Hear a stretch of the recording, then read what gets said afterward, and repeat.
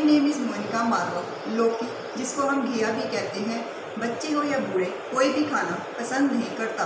बेचारी लौकी भी सोचती होगी कि मैं इतनी बुरी हूँ कि मुझे कोई भी पसंद नहीं करता।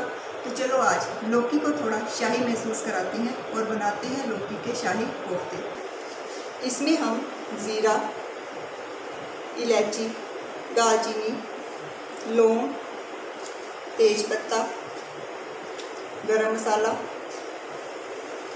ब्रेड, पनीर, आलू, थोड़ा सा बेसन, लौकी, वो भी बॉईल की हुई।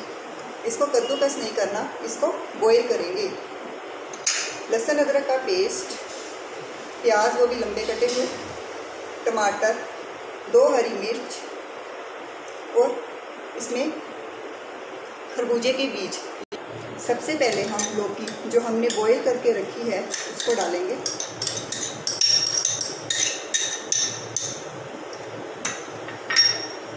उसके बाद इसमें हम दो से तीन चम्मच पनीर के डालेंगे। इसके बाद जो आलू लिए थे हमने, उसको मैश कर लेना है। उसके और साथ ही एक से दो चम्मच ये भी डालेंगे। इसके बाद इसमें थोड़ा सा धनिया पाउडर, गरम मसाला पाउडर, नमक टेस्ट के अकॉर्डिंग,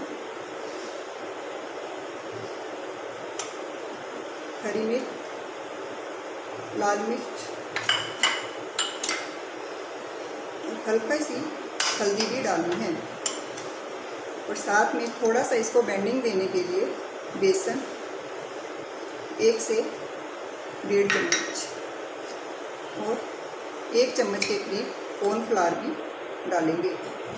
अब हम इन सब चीज़ों को मिक्स करेंगे।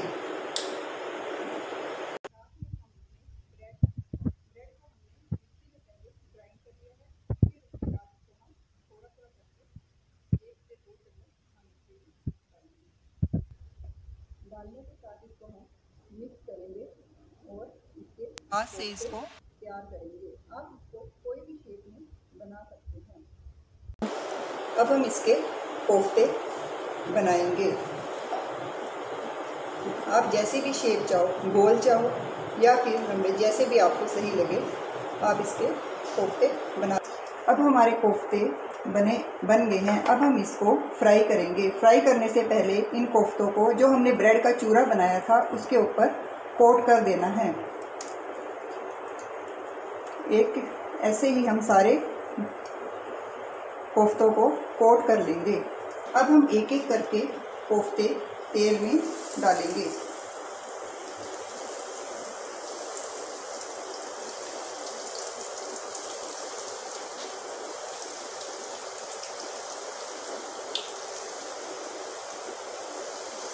जैसे आप देख रहे हैं, ये अब हमारे कोफ्ते ब्राउन होने शुरू हो गए हैं। हम अब इनको एक बार से उल्टा देंगे, जिससे ये नीचे से भी बिल्कुल ब्राउन हो जाए।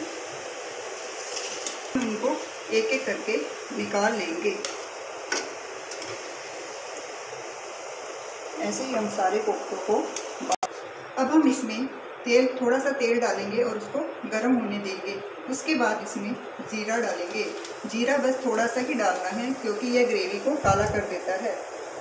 इसके बाद तेज पत्ता दो इलायची, एक से दो दालचीनी के टुकड़े और दो लौंग डालेंगे। अब हम इसमें लंबे कटे हुए प्याज डालेंगे और इसको थोड़ा सा फ्राई करेंगे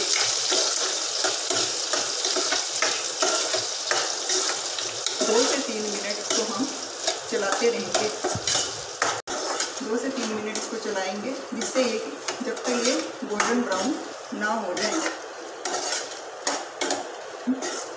इसके साथ ही हम दो कटे हुए टमाटर डाल देंगे और एक से दो हरी मिर्च भी कटी हुई डाल देंगे। आप देख रहे हैं प्याज और टमाटर मैश हो गए हैं, अब हम इसके साथ ही लहसुन अदरक का पेस्ट डालेंगे और साथ ही उसको हम मिक्स कर देंगे। थोड़ी देर इसको चलाना है।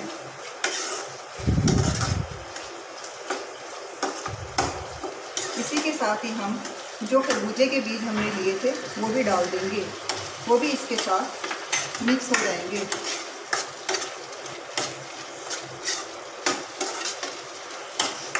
दो से तीन मिनट चलाएँगे अब मैंने मसाला निकाल कर इसको मिक्सी में डाल दिया है। अब हम इसकी एक फाइन सी ग्रेवी तैयार कर लेंगे। मसाला पीसने के बाद इस तरह से दिखाई देगा। कढ़ाई में थोड़ा सा तेल लेकर इसको गर्म करना है। उसके बाद हमने जो मसाला तैयार किया है, वो हम इसके अंदर डाल देंगे। इसमें हम थोड़ी सी लाल मिर्च, जितना आपको तीखा पसंद है।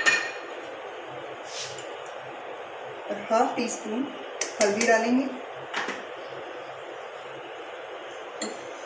हाफ़ टी स्पून अमचूर powder one teaspoon garam masala one teaspoon धनिया पाउडर टेस्ट के अकॉर्डिंग नमक। अब हम चार से पाँच मिनट इसको चलाएँगे जब तक कि कच्चापन इन मसालों का दूर ना हो जाए। तब तक इसको हम चलाते रहेंगे। अब एक चम्मच के करीब इसके अंदर मलाई डालेंगे और इसको भी हम मिक्स कर लेंगे। अब हमारी ग्रेवी बनकर तैयार है।